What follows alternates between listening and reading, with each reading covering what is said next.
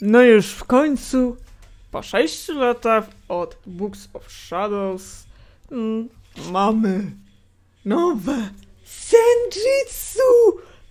Jest nawet Eddie Samurai! Fuck yeah!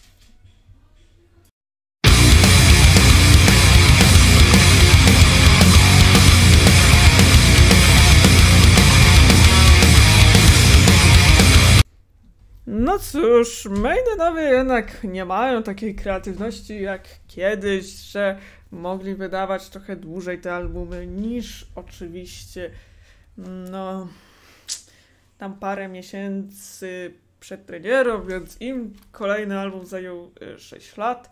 No jest to Senjitsu. I tak, jak mogliście też zauważyć, w tym roku szatę tę przybrało w bardziej japoński styl. Wiecie, takie samuraje, shoguny, runiny, coś deseń, co ja chyba tym bardziej uwielbiam, więc y, stąd też oczekiwania były troszkę duże. Ze względu na to, że uwielbiam samurajów. Samuraje są sztos, więc proszę nie dyskutować. A Eddie Samuraj po prostu wymiata. Sama okładka mówi więcej. Jedna z lepszych w tym roku, jakie można.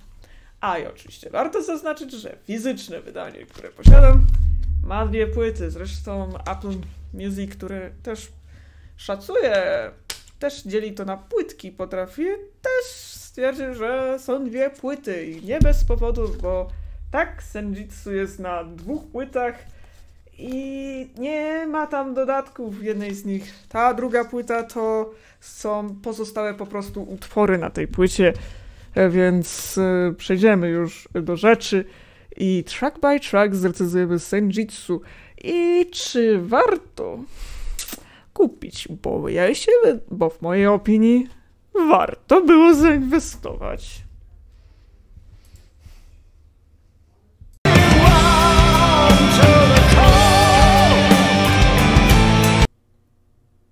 Pierwszym utworem jest oczywiście tytułowe Senjitsu, czyli dość rozbudowana ośmiominutowa kompozycja. E, tak, te, jeszcze o długości jeszcze wspomnę tej płyty, bo no, płyta jest naprawdę długa i można by już ją określić długo grającym albumem.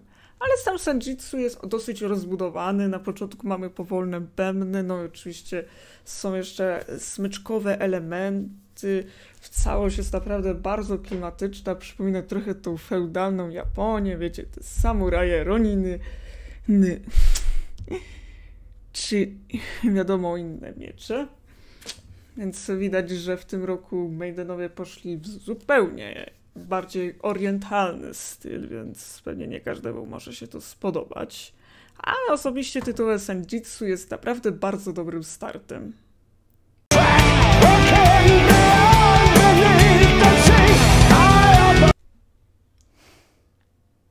Kolejnym utworem jest oczywiście Strante Ego, który jest oczywiście drugim promującym singlem tą płytę. No tutaj wracają wspomniane smyczki jeszcze z Senjitsu, a sam utwór jest ciutkę krótszy, bo prawie 5 minut, co już e, jest troszkę progresem. No aczkolwiek już powolutku wracamy nieco do bardziej torów heavy metalowych.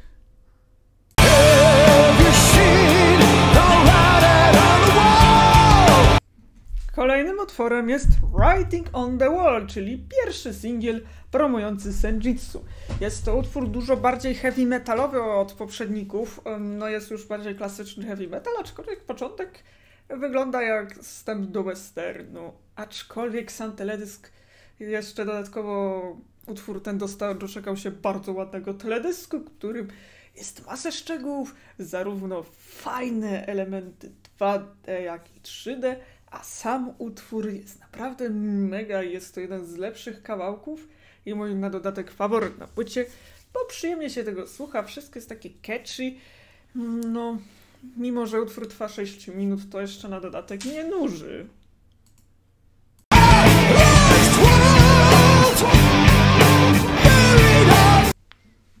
Kolejnym utworem jest Lost In a Lost World, który zaczyna się nieco bardziej balladowo, bo tutaj się już czuć dużo spokojniejsze tony. Rozkręca się utwór oczywiście e, na środku, a końcówka oczywiście kończy się bardziej balladowo i to tyle ciekawe, że to jest taka półbalada, coś pomiędzy no klasycznym no heavy metalem, już zwracającymi już tymi wysokimi tonami mi smyczek, czy tam jak to woli, sampli klawiszowych. One już znowu powracają w tym utworze, ale jednocześnie gdzieś po, na początku i na końcu jest tam uper spokojnie.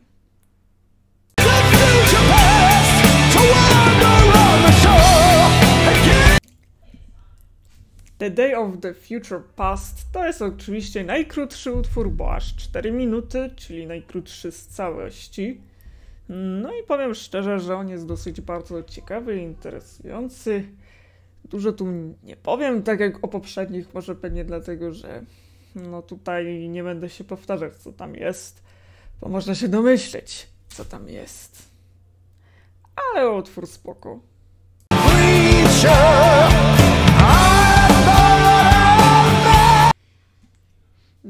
The Time Machine to oczywiście piękna podróż w czasie przy bardzo chwytliwej gitarze, która jest naprawdę bardzo fajna no i wpada w ucho. Całość domyka tą pierwszą płytkę całej płyty, bo tak jak wspomniałam wcześniej są dwie płyty, więc tutaj mamy utwór, który bardzo fajnie domyka y, powiedzmy, że część pierwszą, bo w sumie album nie jest podzielony tak no, równiutko, tą pierwszą płyteczkę. I serdecznie oczywiście warto zajrzeć do wehikułu czasu, bo naprawdę jest co słuchać.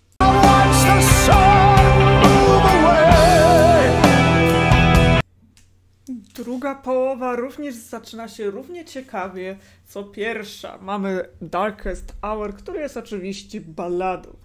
Nowością na tej płycie oczywiście jest to, że Darkest Hour zawiera oczywiście szum morza, który na samym początku ukaja nas w relaks i piękno tej balady.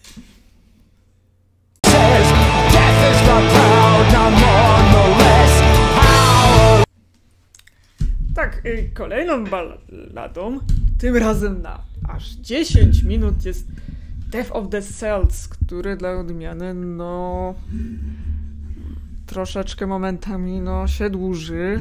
Nie wiem dlaczego, chociaż tutaj twórcy postanowili nieco wydłużyć płytę, ale w mojej opinii powinien ten utwór być nieco krótszy, jakieś jedną minutę. Tyle by wystarczyło, bo nie jest to zły utwór, ale jest troszkę za długi.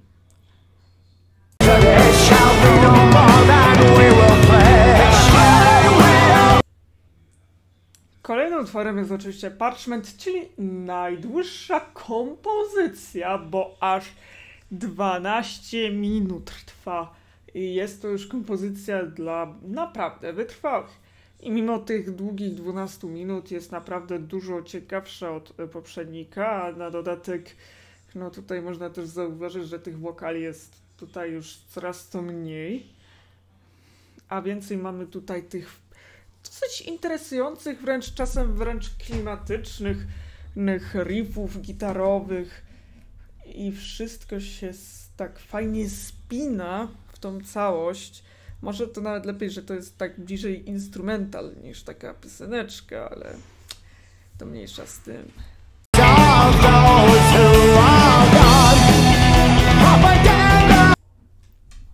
Ostatnim utworem jest oczywiście Hell on Hell czyli piekło na ziemi, który zakończa oczywiście całą płytę i jest on już nieco bardziej z tych wszystko długich, długo grających na tej drugiej płycie, bo akurat na drugiej płycie w większości są to utwory długo grające. Jest najbardziej rozbudowany i najfajniejszy z tych wszystkich.